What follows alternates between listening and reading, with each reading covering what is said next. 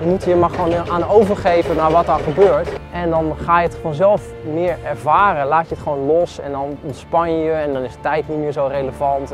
Er zit wel iets in. iets ontroerends in dat bouwen. Als de lamp uit is, dan is het beeld weg. Ik geloof dat ik het belangrijk vind dat, uh, dat je in verwondering en in verbazing uh, een paar minuten misschien met je mond open staat.